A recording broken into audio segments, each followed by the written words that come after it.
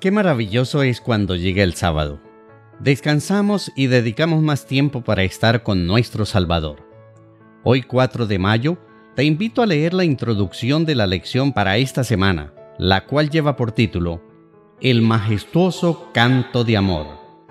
Para este estudio tendremos en cuenta los siguientes textos bíblicos.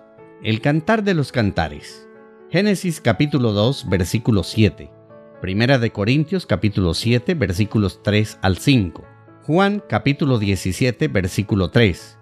Primera de Juan capítulo 1 versículo 9. Romanos capítulo 1 versículos 24 al 27 y Gálatas capítulo 5 versículo 24. Para memorizar, el versículo lo encontramos en Cantares capítulo 8 versículo 6.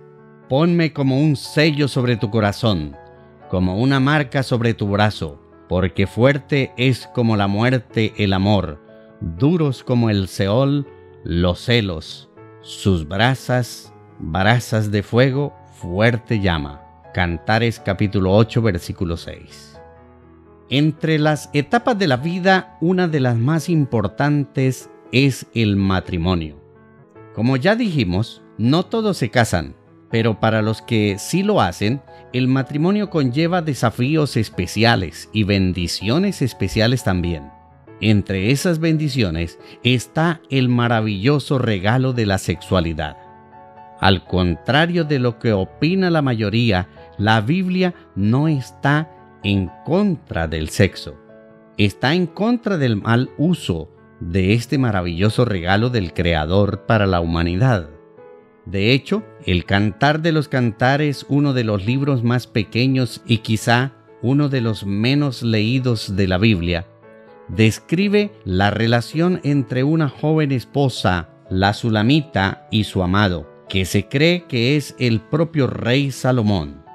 El libro despliega los misterios de la intimidad humana y las delicias del amor conyugal en el matrimonio.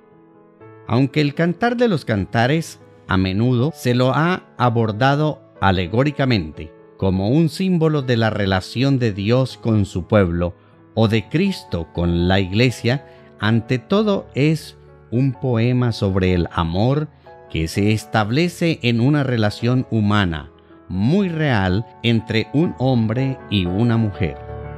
Que tengas un bendecido sábado que estas lecciones y el tema de hoy nos ayuden en el crecimiento espiritual. Soy Adalberto Ivica Rincón, llevando al mundo el mensaje de salvación.